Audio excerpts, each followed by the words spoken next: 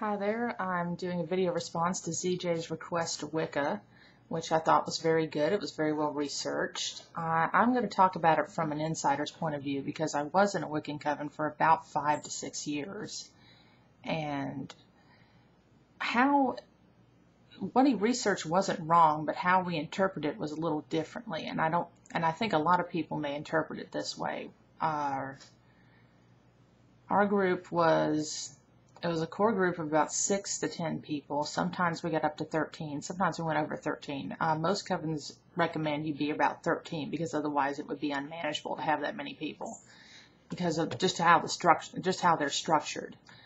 And this, uh, our group was for a while very, very close and eventually imploded and uh, through a whole messy drama, which I'm glad that I had missed. I'd already dropped out by that point. But anyway, the point being, uh, the uh, points I wanted to make were about theology. And in Wicca, the god and the goddess are seen as being equal. They're supposed to have the masculine and feminine divinity. And in theory, the priest and the priestess should be equal. But how it actually worked out, especially in our coven, was that the priestess was in charge and you know it's like you know the god and the gods are equal, but the priestess is a little the priest the goddess and the priestess are a little bit better, and the job of the uh, priest was mainly to back her up. The priest was the priestess's husband, which is not at all unusual in covens at all, at least heterosexual ones. And this was, uh, and we only have like two or three men at a time at any at any given point. We had uh, when we did have enough men, the um, the hierarchy worked like that. We had the priestess, we had the priest, and we had a maiden at all times who is like the priestess in training. She's the third in command, and her job is to be. She's considered clergy, and she can do weddings and you know and everything that the priestess can do. And whenever we could have one, we had a summoner, which was a male person whose basic job was to get make sure everyone showed up on time and knew what they were supposed to be doing. He was like a secretary. Uh, so it was kind of a role reversal from most religions and definitely from everyday life because the women were in charge and we knew we were in charge and we, you know, weren't shy about mentioning it either. Uh, another thing that would come up, there is a very popular book in Wicca called The Spiral Dance by Starhawk.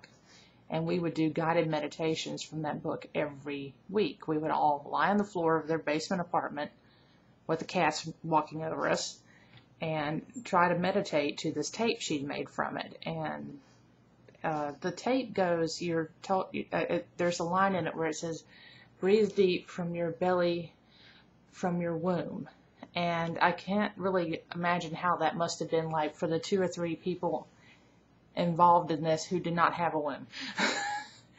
it had to be a little strange now that I think about it. Uh, there is, it's, it can be very female centric. We would try to do things with male energy and, you know, and do, when we had enough men around, we would try to do, uh, various male rituals, but they were completely overwhelmed and we really kind of took it over because we could, and it's actually sort of encouraged. Uh, that was the, that's the main theological difference from what how it's perceived and how it's actually practiced. Uh, another thing is that Wiccans tend to be, and I hope I hope most other people in, uh, involved in Wicca don't have to deal with this, but we had to do it several times. There, there you would get in spats with other covens there would be words said. You would get, you know, they, they, these are called witch wars, and you go up against some other group who you felt were doing it wrong. And so uh, there is a very definite chance of Wicca becoming fundamentalist within the next 20 years because a lot of groups don't get along. And another thing, there's a, a fair amount of snobbery. There's what's called fluffy bunny Wiccans, which means people who they think aren't doing enough reading or are not serious enough. And another thing you got to keep in mind is we're basically making this up. Uh, Wicca is a uh, is a religion that basically stole from every other pa- every pagan group they could think of, from you know ancient Egyptian religion to voodoo. So, and but everyone says this. You know, a lot of people say, "Well, you're doing this wrong." Well, there's a lot of ways to do it. So how you know, like I said, there's no governing body, and so it's a very it's a very interesting religion to be in. It's a very strange religion to be in because and we were very serious about it. Especially we wanted to make a good media impression. We used to do we used to go on television. We'd go on thing. One one memorable time we went and we spoke to a group of teachers in uh, rural Alabama and tried to explain that Wicca was not Satanism, and which I still think was a good thing to do on a religious freedom front, but I don't know. I, I guess we were effective. We tried to be effective, but we weren't all. I don't know how, how good representatives some of us were. Um, what happened eventually was the group split up in the messiest way possible. I don't want to get into the personal details, but it was really rough, especially on some people. And uh, I, like I said, I'd already quit by that point and I had become really disillusioned. Even when I was in the coven, my nickname there was the skeptic pagan because I didn't believe in a lot of things that they believed in. I didn't believe in the concept of a soulmate, which is, is which in Wicca means that you reincarnate with the same person throughout different lifetimes and fall in love with them again. And so you essentially marry the same person over and over. And I couldn't think of anything more boring in my life. I was like, I like you can have so many different relationships with people in one life. Why would you have a relationship with the same person the same way in every in every incarnation? That's just wrong. I guess I'm not very monogamous, and uh, so I was already. So that was one thing I didn't believe in. I didn't believe in a lot of the woo woo stuff that some people in our coven believed in, and by this I mean Loch Ness monster, alien abduction, uh, various things like that. I wasn't really I never had I never had a real spiritual experience except maybe a few times. Well, I mean, I did have a few, but I never had a supernatural experience. Never saw a ghost, never saw an elf lord, never saw a lot of the things that a few people in our group claim to have seen regularly. I don't know if they were making it up or if they needed medication. I'm jury's still out.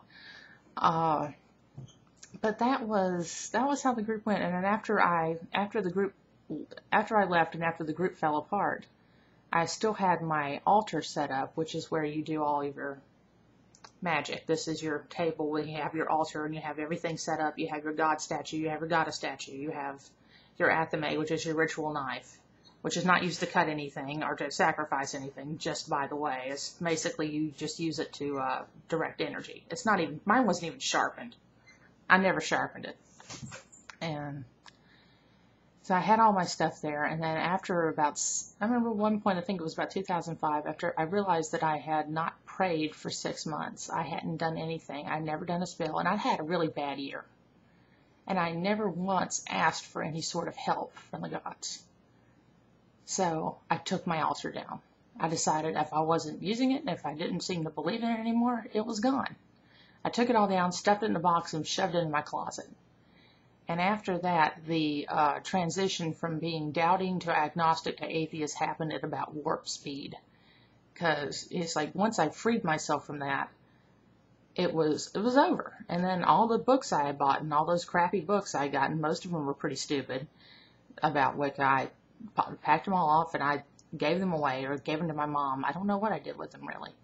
And I kept the ones that I thought had some sociological impact, like Drawing Down the Moon, just because that was a great book on real sociology, really. But everything else was gone. And after that, I never really looked back. I actually have a lot of trouble with some stuff that is just even vaguely new agey because I'm like, once I give up on something, I'm done. I'm like, uh, you know, they'll be say, oh, this is, you know, it's like you should try this or some sort of natural healing for your bipolar disorder. I'm like, oh, stop. just give me medication and shut up. Uh, so it's uh, it's pretty much done for me, and I don't see myself ever going back. But that's just how I looked at it, and that was my personal experience.